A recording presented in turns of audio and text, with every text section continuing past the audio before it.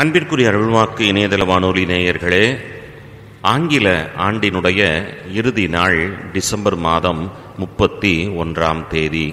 ஆண்டு முழுவதும் ஆண்டவர் எண்ணற்ற நன்மைகளை நம் ஒவ்வொருவருக்கும் எண்ணிலடங்கா விதத்திலே செய்து வருகின்றார் என்பதுவே உண்மை. நன்றி சொல்லி இந்த நாளை ஒப்புக்கொடுப்பதுவே சாலச் சிறந்தது அந்த வகையிலே நாம் நன்றி கூறுவதற்கு டிசம்பர் மாதம் முப்பத்தி ஒன்றாம் தேதி தாயாம் திரு அவை புனித சில்வஸ்டர் என்கின்ற இந்த புனிதரது திருநாளை கொண்டாடி மகிழ நமக்கு அழைப்பு தருகிறது. இவருடைய வாழ்க்கை குறித்தும் வாழ்வினுடைய பாடம் கற்றுத்தருவதையும் இப்பொழுது நாம் கேட்டறிவதற்கு முன்பாக இறைவாக்கினர் ஏசையா தீர்க்கதரிசி தன்னுடைய ஐம்பத்தி ஐந்தாவது அத்தியாயத்திலே நான்காவது இறைவாக்காக எழுதி வைத்திருக்கின்றார். நான் அவனை மக்களினங்களுக்கு சாட்சியாகவும் வேற்றினங்களுக்கு தளபதியாகவும் தலைவராகவும் ஏற்படுத்தியுள்ளேன் என்கின்ற இந்த இறை வார்த்தையை மனதிலே பதிய கொண்டவர்களாக இவருடைய வாழ்க்கையினுடைய வரலாறு என்ன என்பதனை செல்வி அமலி பாத்திமா அவர்கள் சொல்ல நாம் கேட்டறிவோம். இன்று நாம் நினைவு கூறும் புனித சில்வெஸ்டர் மூன்றாம் நூற்றாண்டின் பிற்பகுதியில் ரோமையில் பிறந்தார். இவர் மிகச்சிறந்த ஆசிரியரும் குருவுமான சாரிதியூஸ் என்பவரிடத்தில் கல்வி கற்று பின்னாளில் குருவாக மாறினார்.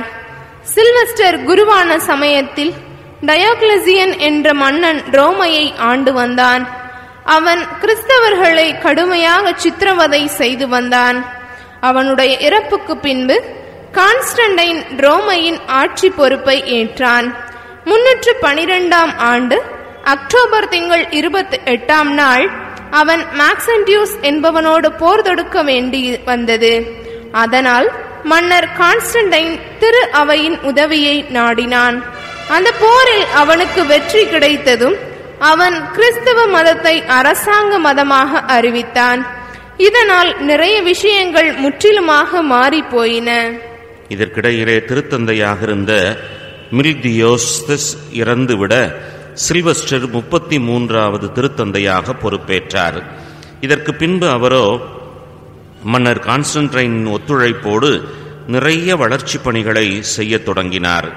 அதற்கு முன்பாக டாக்மாஸ்டிஸ்ட் என்ற தப்பறை கொள்கையினையும் முன்னூற்றி இருபத்தி ஐந்தாம் ஆண்டு நடந்த நிசேயா பொதுச்சங்கத்தின் வழியாகவும் ஆரிய பதத்தையும் முடிவுக்கு கொண்டு வந்தார். இந்த ஆரிய பதம் கிறிஸ்துவினுடைய இறைத்தன்மையை மறுத்து வந்தது. அதனால் திருத்தந்தை சில்வஸ்டர் அதனை கடுமையாக கண்டித்து அதற்கு முற்றுப்புள்ளி வைத்தார். இதற்கு பின்பு இவர் நிறைய வளர்ச்சி பணிகளை முன்னெடுத்தார். குறிப்பாக மன்னர் கான்ஸ்டன்டைனின் ஒத்துழைப்போடு லாத்தரன் பேராலயம் சாந்தா குருஸ் பேராலயம் தூய பேதர் பசிலிகா போன்றவற்றை கட்டி எழுப்பினார். மேலும் ஒழுங்குபடுத்தப்படாமல் இருந்த மறை சாட்சிகளினுடைய வாழ்க்கை வரலாற்றை தொகுத்தெடுத்தார். இவற்றோடு கூட திருவழிபாட்டு கொண்டாட்டத்திலும் நிறைய நல்ல காரியங்களை செய்தார். இவருடைய காலத்தில்தான் ஞாயிற்றுக்கிழமை விடுமுறையாகவும் ஆண்டவருடைய நாளாகவும் அறிவிக்கப்பட்டது.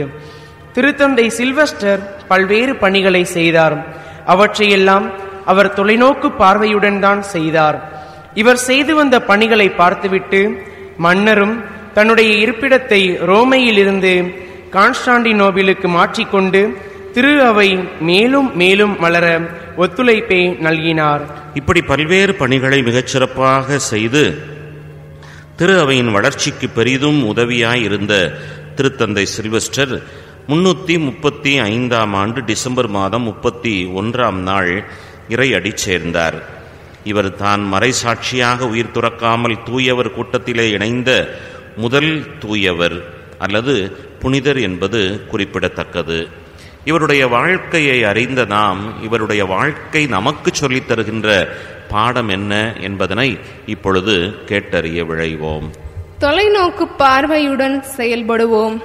புனித செல்வஸ்டரின் வாழ்க்கை வரலாற்றை கேட்கின்ற போது அவர் நிறைய காரியங்களை தொலைநோக்கு பார்வையுடன் தான் செய்தார் என்று சொன்னால் அது மிகையாகாது. இவருடைய காலத்தில்தான் கிறிஸ்தவம் அரச மதமாக ஏற்றுக்கொள்ளப்பட்டது. எனவே இப்படிப்பட்ட சூழலில் எதை எதையெல்லாம் செய்தால் திரு அவை எதிர்காலத்தில் நல்ல விதமாய் வளரும் என்ற தொலைநோக்கு பார்வையுடன் சிந்தித்துச் செய்தார். அதனால்தான் திரு அவை இன்றைக்கு இந்த அளவுக்கு வளர்ந்து நிற்கின்றது. இவருடைய நினைவு நாளை கொண்டாடும் நாம் தொலைநோக்கு பார்வையுடன் செயல்படுகின்றோமா என்று சிந்தித்து பார்க்க வேண்டும். இந்த இடத்தில் நம்முடைய இந்திய நாட்டில் தோன்றிய புனித குரியாக்கோஸ் எலியா சவரா என்பவரை குறித்து சொல்லியாக வேண்டும். இவர் கேரள திரு அவையில் பல காரியங்களுக்கு முன்னோடியாக இருந்திருக்கின்றார் என்று சொன்னால் அது மிகையாகாது. இவர்தான் இந்திய மண்ணில் முதன் முதலாக இருபாலருக்கும் துறவர சபையை நிறுவியவர். இவர்தான் கேரளாவில் அச்சகத்தை கொண்டு வந்தவர். இவர்தான் நாற்பது மணி நேர நற்கருணை ஆராதனையை அறிமுகப்படுத்தியவர். இவை எல்லாவற்றுக்கும் மேலாக இவர்தான் அறிவே ஆயுதம் கல்வியே பலம் என்று ஆலயத்தை ஒட்டியே பள்ளிக்கூடம் இருக்க வேண்டும் என்ற கருத்தை முன்மொழிந்து அதனை செயல்படுத்தினார்.